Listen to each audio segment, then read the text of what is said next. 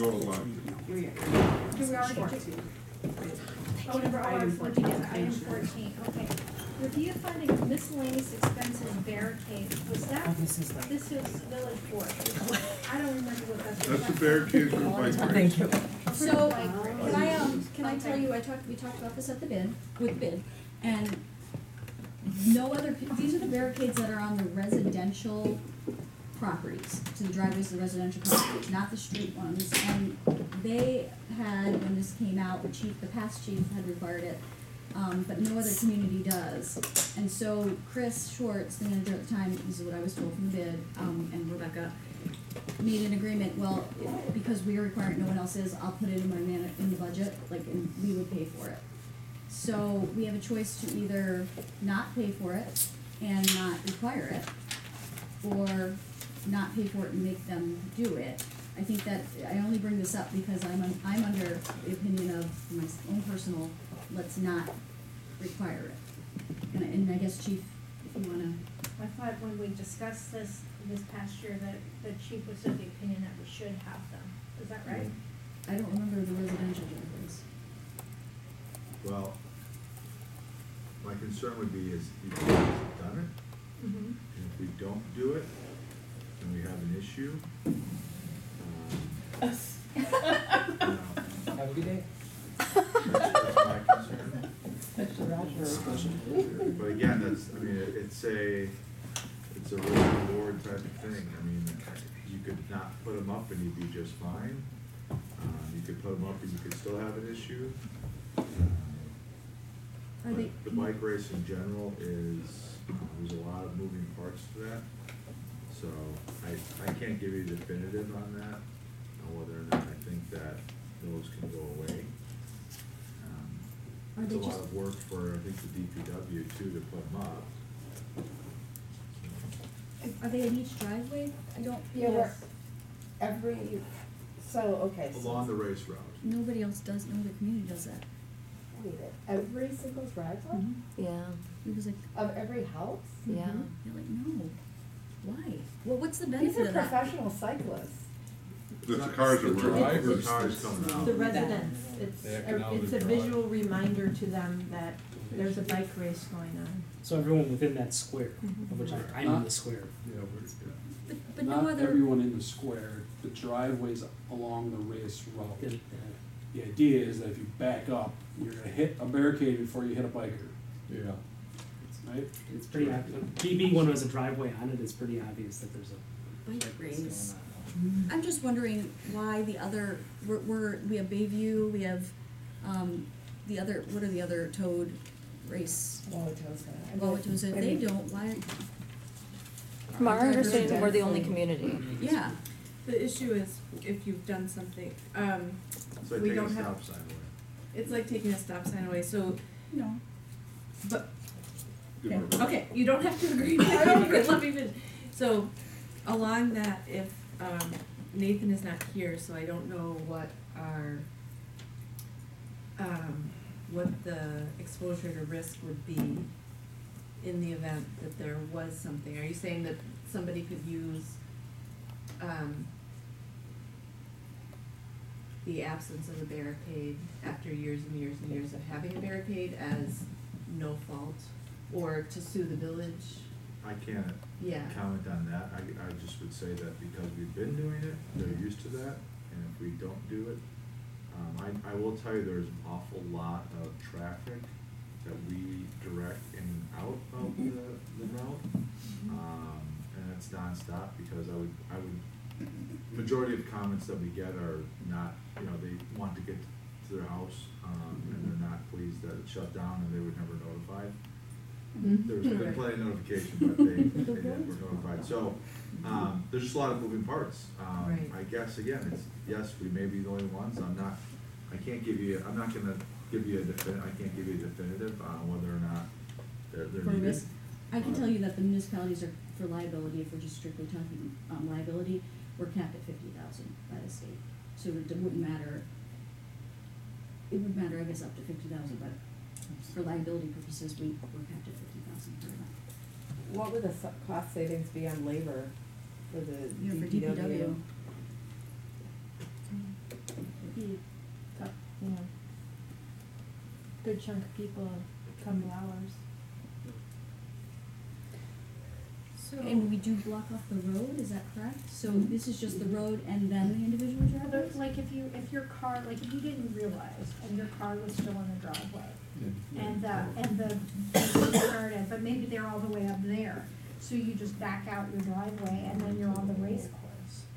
So what does the barricade do? Do they get to There's back a out? barricade, like I, I'm just saying, why is they- my, if you you might mo- say, why is my driveway barricaded by the village, I better, you know, not drive over the barricade. So you're not allowed to back out of your drive, is it, you Right. just say you can't move your car? Yeah, Okay, car I just- got Think it. about it. Alright. You're stuck there, you're stuck either in or out once the races start. But I guess you let, in between the races, you can. Like people can inside, like not on the track This isn't itself, track, but it's the- inside, Just the road. right? So there's houses inside Oh. Yeah. that will let them cross the, the, the track.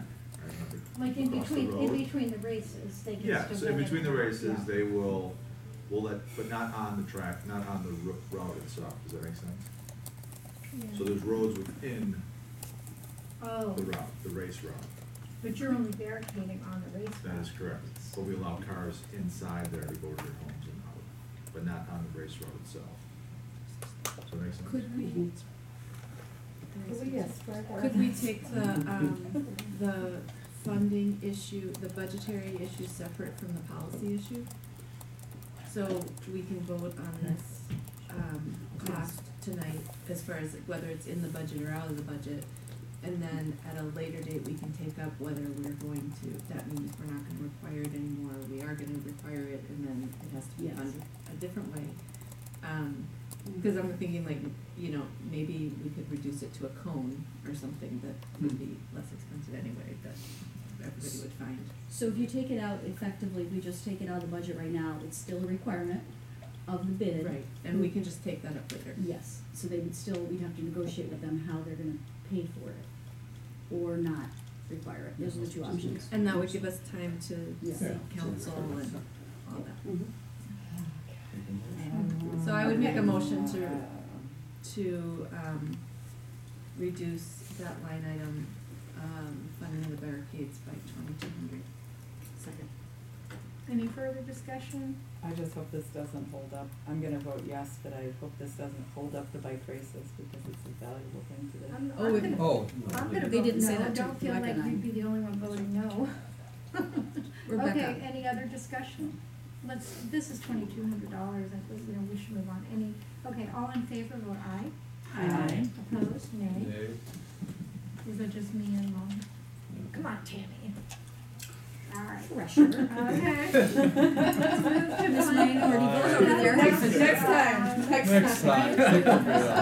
Halloween. Uh, Halloween, All all right. right, let's Um, get into it. Cancel Halloween this year. Item fifteen, also village board, review funding of July fourth community event, five thousand dollars, and I believe that's the money we pay a consultant, correct, to like coordinate. And organize it, yes. It's a big undertaking, but What did we talk about last time? It was more of, they'd have to fundraise, right, for, if they wanted. Well, let me, yeah, Yeah, let me, I let me, remember. let me confirm that, yeah, because that's not totally accurate. So the village in the past has had seventy-five hundred reserved, provided the, uh, Fourth of July, we'd get people to fundraise. And then in the end, whatever the difference was that we didn't fundraise, you know, that's what the village would, you know, contribute up to seventy-five hundred. So I think this year is a perfect example that if you take expenses, which our only expenses for uh, Sarah Denise time to coordinate, and then uh, and then of course all the bands and the fireworks and that, and then if you take all the fundraising, I think it was like thirty four hundred or something like that. That was the difference. So that ended up being the village commitment. So if you wanted to lower the Fourth of July commitment from seventy five hundred to five thousand. It's at five thousand It's at now. five Oh, it's at five thousand now? Okay. So if you wanted to lower from five thousand to nothing, It was seventy-five hundred. that means the, the village would have to, or we would have to fundraise for it all. Um, I think the other commitment that I made during the budget discussion was the village as a partner may wanna provide some dollars because we're asking other businesses and other community partners to contribute. So you may wanna consider some dollar amount uh, that the village would financially commit towards, I maybe mean, the it's two foundation grand. puts a lot into it, don't They do, but they get naming rights with that. And then So we say the Shorewood Foundation presents the Fourth of, the Shorewood Fourth of July parade. I think we also talked about the wheelie guys retiring, and we could do without Elvis, and that brought it really down. I do I remember don't that. think it's the, it's the marching bands that are the money, I don't think it's the wheelie guy. Yeah, well, the wheelie's like two hundred bucks, Yeah. but the bands are over a thousand, so that puts it in Yeah. comparison. The bands are really great, I mean, I don't know, does anyone wanna make a motion? I, I, I personally am not in favor of this, but I'll make a motion to lower the line item to, I swear it was seven, seven, you're sure it's five thousand in the current budget? Well, it was, for twenty eighteen, it was seventy-five hundred, I think when Mark and I talked, we lowered it to five hundred. okay. So that's why it's five grand right now. And you'll be able to see that on page thirty-six if you wanna track your his, well, actually, you wouldn't be able to see that. I know for sure twenty eighteen was seventy-five hundred, but I bet we lowered it to five grand. Okay. So to lower it to three thousand. Yeah, that's fine. Second. So we went from five thousand to three thousand? Okay, um, any more discussion? Yeah, I'd be opposed to that. I think this is one of the major events in the community. It really sets us apart. It, it's, a lot of other people are putting a lot of resources into it. I think we need to contribute it. Five thousand seems minimal. I, I agree, and I also with safety and everything else, and I just, I'm not gonna vote for this. I think we should leave it five thousand as well. I'm not, yeah, I'm not in favor of it. And that's why. I'm gonna vote no too, even though I said. No. I mean, what are we gonna put up next, mom and apple pie and, okay. Uh, all, all in favor of the motion which would reduce from five thousand to three thousand, say aye. Aye. All opposed, nay. Nay. Okay, um, fails, six one. Alrighty, um, review staff, status of crossing guard MOU ad revenues, so this one I believe was, uh, our cost for, so this is just half, thirty-six eight seventy is just half, correct, of the school crossing guard contract? Correct. And that was with the potential premise that we would have in place an MOU with the school board during these budget deliberations, which I do not believe exists. No, um, yeah, um, they've been otherwise occupied, I think. Um, so- Yeah, yeah. I don't know, does anyone, uh, I, I mean, I personally have reservations about putting this in, because we haven't, I know you guys met with Brian Davis and Harvard, did you bring this up? Yes, we did. So, um, we actually brought it up as something to do in the next year. Oh, okay. Um, and the reason that, well, it's really odd because w- they would have to do it first, cause they adopt their budget in twenty nineteen in August, I think it is, or, I can't remember what the date is, but it's different than our cycle. Yeah, they're, they're about six months off of our cycle. So my recommendation is, since we brought it up, since we're trying to schedule this joint meeting with both boards, which will bring it up again, if, um, they seemed receptive, they seemed, they didn't, so, and I'm not misquoting you, so tell me if I'm saying this wrong, but they had no idea it cost that much money. They thought that was ridiculous and, and outrageous, and Paru was like, N-O, like, that is just not right. And so they were, we talked about a couple of different ideas of like, the lunchroom workers, not that that would work, but we were talking very briefly on, well, here are some things we could discuss, but anyways, they're aware of it, and, um, and they are not in favor of that high contract, so. Yeah, but I'm sure they're in favor of oh. crossing guards. Yeah, Of course, I am too. Yeah, I would think so. Of course, so am I. I mean, I'm not saying that. Problem. Crossing guards and lifeguards, we kinda need them. So would, would it be fair to say this is for next, next budget, this is gonna be more of a. I don't know, Rebecca. For our next budget, for our twenty twenty budget. But I think the, the goal, my, I guess my takeaway from the, the meeting that I'd mentioned is that, listen, you know, I think we all believe it's in everyone's best interest to have crossing guards. I think it's just a matter of, you know, can we, can we split this cost? And I think, you know, to President Rozek's points, there's just, you know, when it's not in front of you and you're not taking action on it, sometimes, you know, it can be lost on what those dollars mean.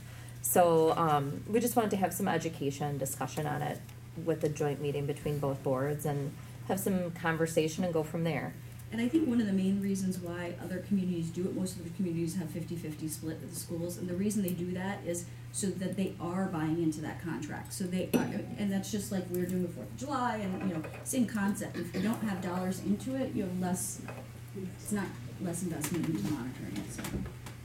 So is the plan then for twenty nineteen that they will be in, like, even if we're paying the contract in full, that they will be involved in the process and in selection of the crossing guards? Because I feel like that's a big, the- the money piece aside, just for a moment, like, that's a big part of it. Right. Because the current crossing guard situation, even with the new contract, I wouldn't say is Yeah, they hadn't, they said they hadn't got any complaint, they did not hear, they're not being contacted. They don't really know a lot about the contract. So I, Chief Nimmer, I, or I think she- maybe, you getting contacted with complaints about the crossing guards? Um, not on a regular basis. Um, the ones that we do get contacted on, we contact the company and have them try them switched out. But, um, I will just tell you about the whole crossing guard thing, if we do use contracted services, they're pulling from the same pool of people. Mhm. Um, one of my suggestions, I think I briefly heard about it, was I, in other communities, they're using, uh, school staff, um, to do that, because they're on staff, they're, you know, they're, have a little bit more buy-in into the community and the school. And that would be my, if you really want a more high-quality crossing guard, um, I know that nobody wants to do it through thirty below zero and, or ninety degrees, but it's probably the best, your best, the schools, our best bet is to try to work with them to try to help facilitate, you know, using current school staff. Um, cause if we have, there's emails that go around with, um, chiefs, and we're all, we're all using the same service. Cause What is- we're all stuck kind of with what we have. Sure, what does Whitefish Bay? Because they, this is just my own personal experience, but I drive right by Cumberland every day and Mhm. they have like a couple really great crossing guards. Yeah. They're like grandparents. Yes, it's They like do. Hampton Yep. and Ardmore and Hampton and Marlboro, like, they're, they're just like, nobody's on their phone. Yeah, they've used, I think they're using their own, like, says, like retired Staff. teachers, We retired asked people. Yeah. Brian Davis was going, that, that was his assignment, right? Was to look at other communities and come back. So hopefully at our joint meeting, that will, it is on the agenda, we can get more detail. Yeah. Sorry. So for this, um, if we took action on this, my understanding was, excuse me, it's a two-year contract at seventy thousand dollars or so.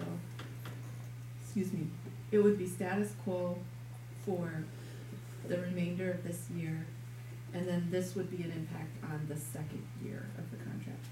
Did we, I thought we adopted Adopted a one. one We year. adopted one. Yeah, We because, one. because we asked them to have input and to talk to us, and Right, it they didn't work. didn't, so we just did it for one year, yeah. So this, so if we took action on this, it would kind of be a unilateral, Yeah, Yeah. um, decision without the school accepting. Right. Mhm. The only thing I would, I would think is, they, that just like the garbage that we just said, you know, so, but I wouldn't do it, you're correct, I wouldn't do that for, until they have the budget discussion, so the only thing that I would recommend if we were looking to reduce funding at all would be for the, that August, so, you know, like once, so that when they, they can take action in their budget for half, so we would be reducing that amount for those three months by half.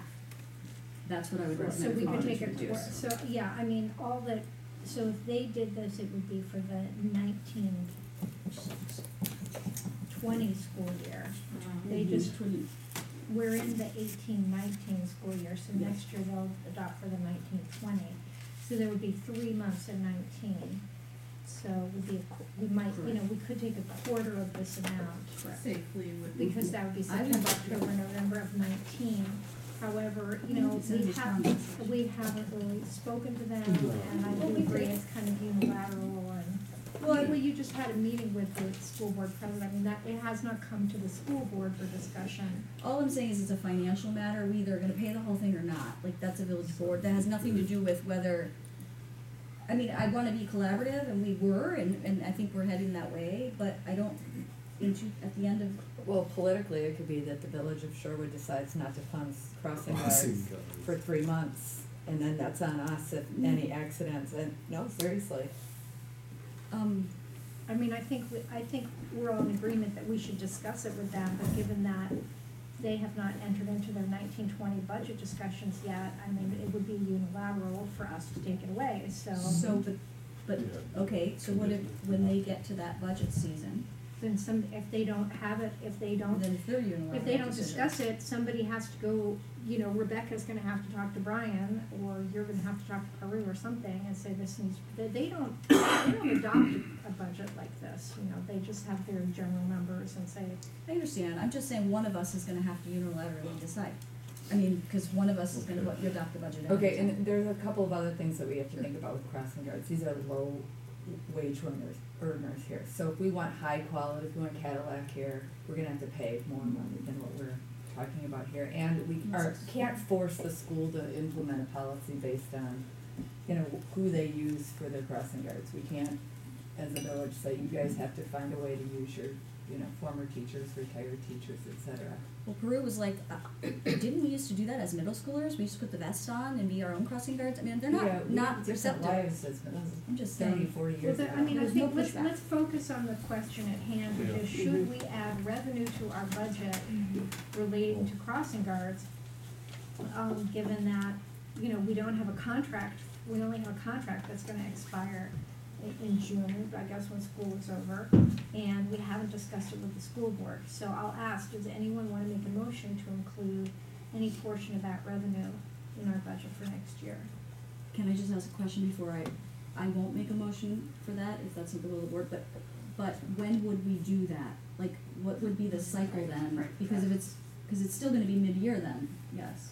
Well, my expectation would be is that if we come to some sort of cooperative agreement with the school, that they would commence contributing funds, um, Mm. this time next year, or, you know, in August, September, uh, pursuant to that agreement, which would be relative to this budget windfall, but then we'd have the, uh, you know, the mutual agreement in place that we would budget for it in, in twenty So twenty. we would work on something up until their budget time, which is really, Rebecca, you said they start. We don't, we we don't, talked we're about not this. gonna have a contract, we're not gonna have crossing guards for nineteen twenty, okay? We have one-year contract.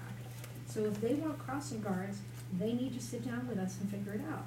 Well, that's the same thing as what trustee Bockhorst was saying, even if we took away a third, you know, a quarter, we're not gonna go without crossing guards. I mean, who's gonna do that I'm not politically? sure what, you- what are you asking? How are we going to coordinate with the